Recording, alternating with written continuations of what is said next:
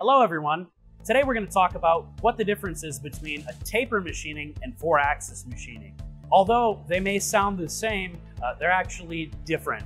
So the difference between taper machining, taper machining moves off of a 2D shape. So let's say we have a 2D circle, okay? If we wanted a constant taper all the way around that program, we would add in a couple lines, uh, a couple items into our G code. Uh, the angle itself that we want to machine, uh, G41 or G42, which is our radius compensation, that should already be there.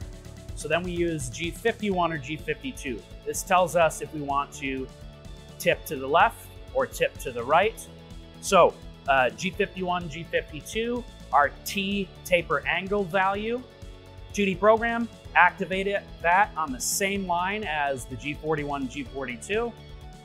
Taper comes on, then we just do our 2D movements. At the very end, when we're canceling our radius compensation, G40, we do G50 to cancel the taper and take our T value back to zero.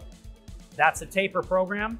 Four axis program is different. Four axis, you're actually telling the machine what each axis is moving. So rather than just a 2D X, Y movement, you're telling the machine X position, Y position, U position, and V position. So X, Y on bottom and UV on top. You're telling it X, Y, and UV, all of those movements specifically.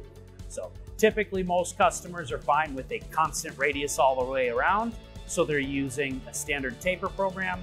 Uh, other customers, maybe who have a different shape top and bottom, they will use four axis where you're actually programming two independent shapes, top and bottom. So that's the difference between taper and four axis.